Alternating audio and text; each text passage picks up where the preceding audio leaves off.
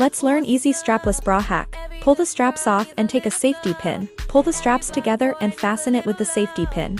If you like this hack, hit the like button.